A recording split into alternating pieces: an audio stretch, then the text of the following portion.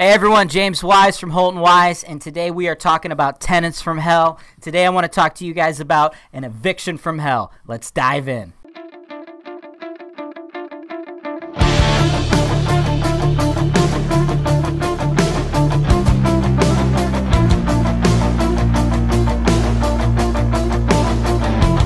All right, so truth be told, evictions in the Cleveland area, they're honestly pretty easy. We don't usually run into too many crazy scenarios. But man, this is the worst eviction I have ever dealt with in my entire career. This is tenants from hell, man.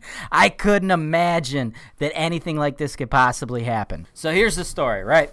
We have a side by side duplex, okay? And it's on a corner lot. So one of the units is facing one street, the other unit is facing another street. So technically, you could make the argument that there's uh, two streets. One was like West 112th. I don't remember the name of the other one. Let's just call it Main Street. So you got one tenant whose address is West 112th. The other tenant uh, could also be known as Main Street. Both of these tenants stopped paying rent at the same time, so we filed evictions on both of them.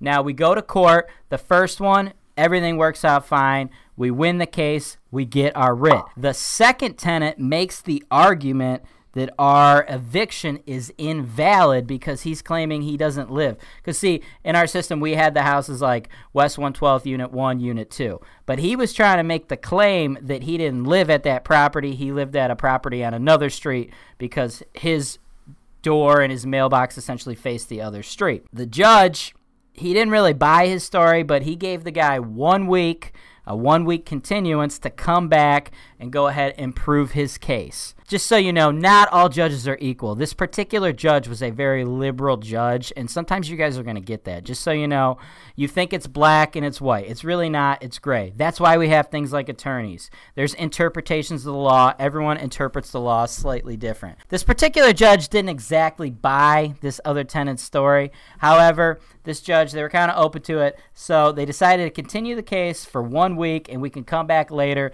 And if this particular tenant had any compelling evidence, he could possibly get it thrown out. Fast forward to the next week, we show up. New judge. This judge, you know, I've dealt with that judge in the past. He's a lot less liberal than the previous judge. He looked at the case for about two minutes and he said, Yeah, this is insane. You know, totally evicted the guy. So we won two. But we won the other case a week before. So now our writs, we had one writ, and then the second gentleman's writ was a week later. So we go to move out day. The way evictions work in Cleveland, you have to get a court appointed moving team, and then you show up with the bailiffs. The bailiffs come in guns drawn if people are not letting him inside. So we start evicting the tenant out of the property on West 112th, the one facing one side of the street. And that particular tenant, they didn't move anything out. They didn't believe that they were getting evicted. I don't know what they were thinking, but it's a full family. So they're screaming and they're yelling and ah! everybody's totally going crazy. But the bailiffs, you know, we got in there, we sent all the movers, and you know, it's like four or five guys, and they are just piling up the tree lawn. Mind you, it's the middle of the winter, so it's snowing, but they're piling the tree lawn. This is where it gets totally insane. This is where the craziest thing I have ever seen in my entire career happens. The tenant from the other unit, the guy living on the other unit facing the other street, comes outside, tells the tenant that we are evicting, hey, you could move all of your stuff into my unit. So they start carrying all this stuff. So the movers are literally bringing everything to the tree lawn. And then the family is then moving everything from the tree lawn into the other unit. So my team is out there. I was out there. I go up to the bailiff. I'm like, what? What? What? What are you doing? What? What is happening? We're we're evicting them, and you're letting them put it in a different room of the house. And he's like, no, no, no. Unfortunately, there's nothing we can do. They're being evicted from that unit. The other tenant actually has possession of the other unit. I'm like, dude, what are you talking? It's all one property. It's one house. It's my house. I've. Uh, it's like me evicting them from the dining room, and you're saying they could move the stuff to the kitchen. He's like, unfortunately, the way the law works, it doesn't work that way. That's a completely separate unit. So literally, the movers pull everything out, slap it on the tree lawn, and then the family moves everything and moved it back into the other unit. And there was nothing that we can do about it. Me, John, a couple other guys on our crew and all the movers just had to watch this entire thing happen.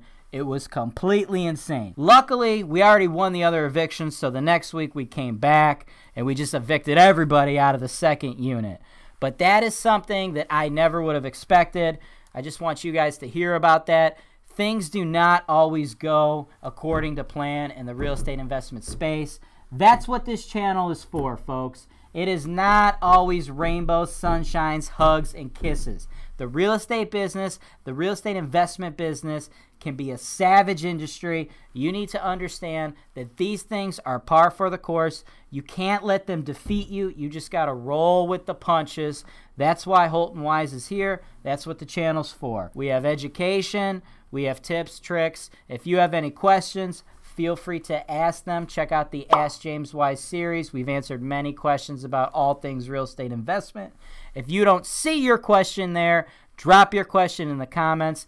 We will ask it. If you want to be a hands on landlord, again, our goal is to empower you to be the best landlord you can be. But if you don't want to be a hands on landlord, you don't want to deal with people moving out of one half of your house and into the other, that's what Holton Wise is for. We are a full service real estate investment brokerage. We can help you find the properties. We mail out properties every single day at 1 p.m. We also do a full video tour on this page. So if you're not subscribed to this channel, please do so now. Also, sign up to the mailing list so you see those properties and information on how you can bid on them. I am the number one seller of investment property in the Cleveland area. I'm James Wise, broker, investor, entrepreneur. Again, to see more about me, my personal story, Follow me on that Instagram at JamesWiseHWPG. Subscribe to this channel and please hit the like button and do me a favor. Share this story with at least one person who's looking to become a landlord. They need to understand what they're in for. As always, James Wise, Holton Wise, real estate investing made easy.